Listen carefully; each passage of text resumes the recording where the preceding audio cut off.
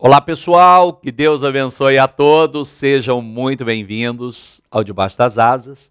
Que você tenha um dia incrível, um dia abençoado, um dia iluminado, um dia de graça, de unção, de favor, que Deus transborde na sua vida para que você possa transbordar na vida de outros. Você nasceu para dar frutos, viu? Você nasceu. Antes, deixa o seu like aí, compartilhe, deixe seu comentário e vamos para mais um momento de meditação.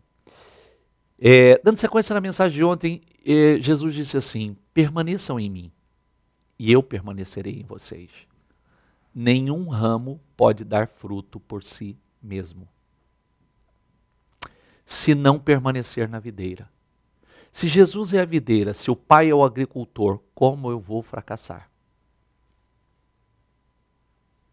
Pense nisso, por favor. Se Jesus é a videira, o Pai é o agricultor, como eu posso fracassar? Não há possibilidade de fracassar.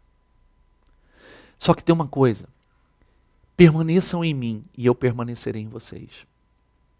Nenhum ramo pode dar fruto por si mesmo, se não permanecer na videira.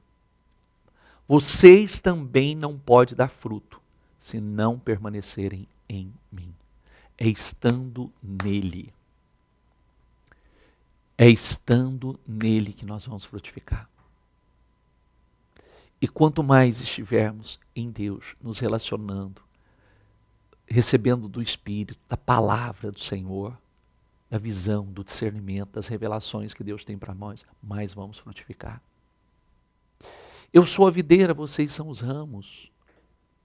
Se alguém permanecer em mim e eu nele, esse dará muito fruto.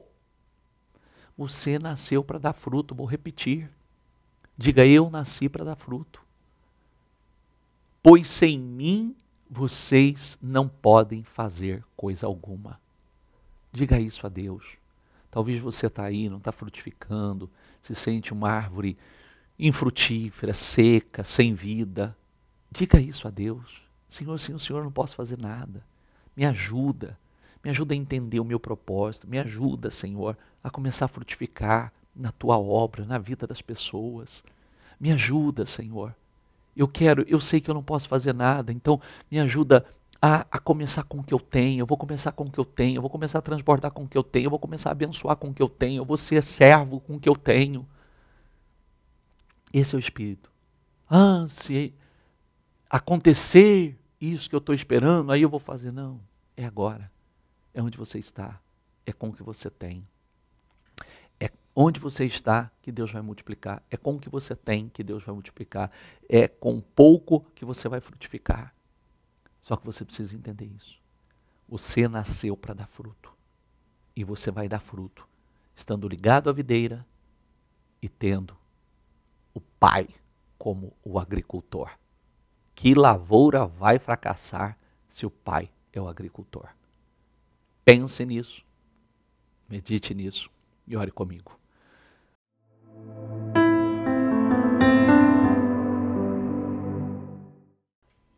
Ó meu santo e poderoso Deus, que essa mensagem entre e penetre profundamente mentes e corações. Nos dê revelações profundas através dela nos dê entendimento, discernimento profundos através dela. Nós não podemos fazer nada, Senhor. Nós não podemos fazer nada sem o Senhor. Nós não podemos dar fruto sem o Senhor. Nós não podemos prosperar sem o Senhor. Nós não podemos ser um canal de bênção na vida de ninguém sem o Senhor. Até porque não temos nada, tudo que temos vem do Senhor. Então nos ajude, Senhor. Nos ajude para que nós possamos estar realmente ligados à videira e tendo o Pai como o agricultor. Nos ajude. Abençoe a cada um que ora comigo. Fortaleça cada um. E que ela entenda que ela nasceu para dar fruto e fruto em abundância. É o que eu peço, é o que eu declaro. E crendo desde já eu lhe agradeço. Amém, amém, amém. Graças a Deus.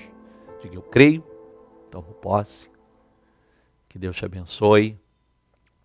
E até a nossa próxima mensagem amanhã estaremos aqui novamente. Forte abraço, levante-se e ande.